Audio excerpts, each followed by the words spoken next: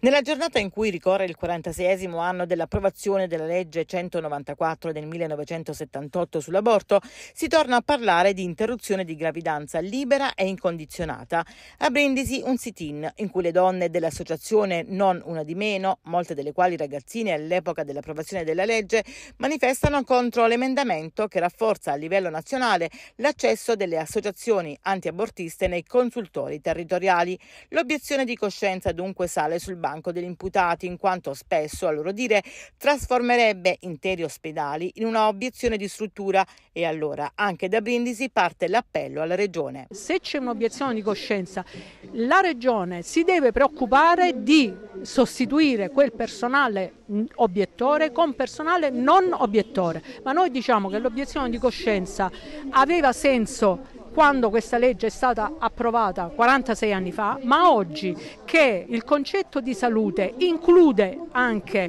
il rispetto dei diritti sessuali e riproduttivi, l'obiezione di coscienza nelle strutture pubbliche non ha più senso, quindi bisogna trovare e ci sono i mezzi di superamento di questo, uh, di questo blocco. I dati in Italia del resto parlano chiaro, almeno 20.000 donne all'anno ricorrono a strutture non autorizzate per esercitare quello che da 46 anni è un diritto di ogni donna, sottolinea Lia Capera ai microfoni di Antenna Sud. Ora bisogna intervenire e si deve intervenire per evitare tutto ciò, conclude.